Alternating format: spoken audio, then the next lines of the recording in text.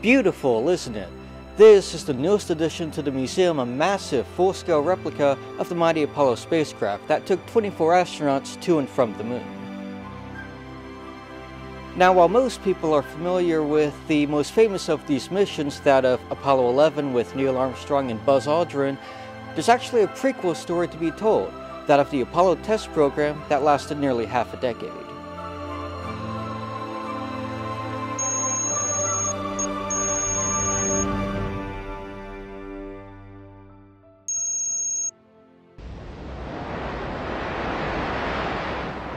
During the 1960s, the space race was in full swing, and America was losing.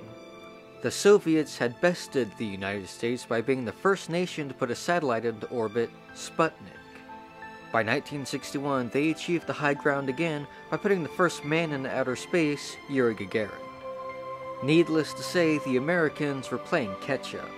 The United States' first venture into low Earth orbit came about during the Mercury space program but it would be this massive 100 foot rocket, the Titan, that would allow US astronauts the opportunity to do spacewalks as well as extended missions in space in preparation for Apollo.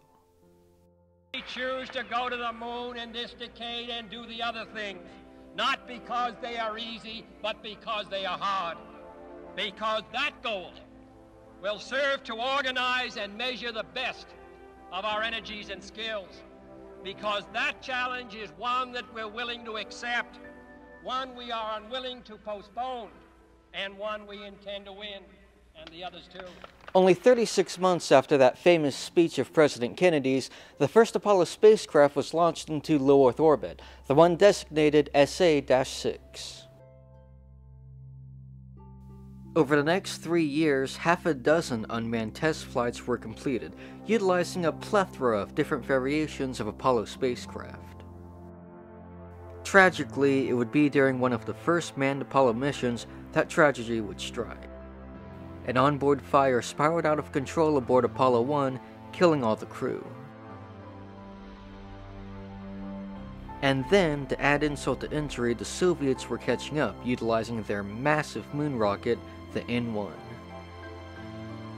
Towering at over 340 feet and weighing a massive 6 million pounds, it was a true threat to the Apollo program. So, to counteract this, the Americans launched the first fully assembled Saturn V moon rocket in November of 1967, aboard Apollo 4.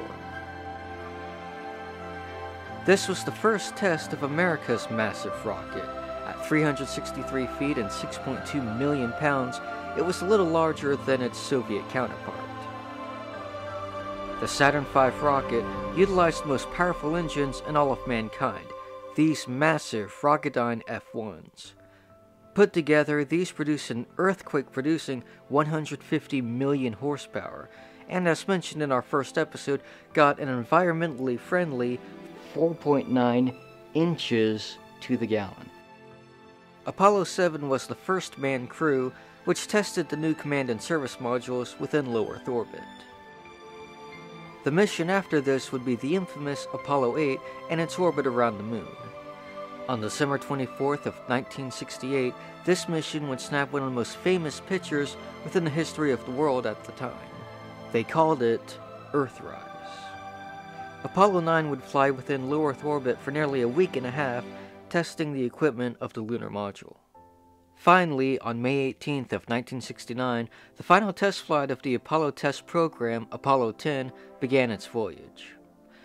Commanded by General Stafford, for whom this beautiful museum is named after, Apollo 10 would fly to within 47,000 feet of the lunar surface.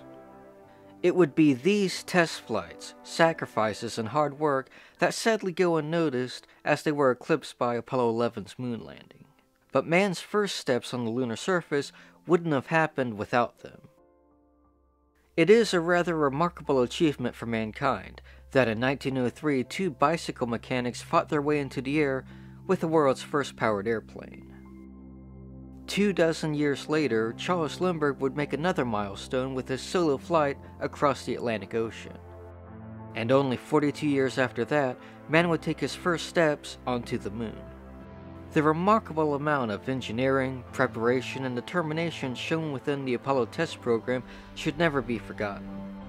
And hopefully, someday the Apollo space program will be bested, this time by astronauts stepping onto another celestial body, that of Mars. And when that day comes, hopefully those future generations won't forget the shoulders of giants that those future astronauts will be standing upon.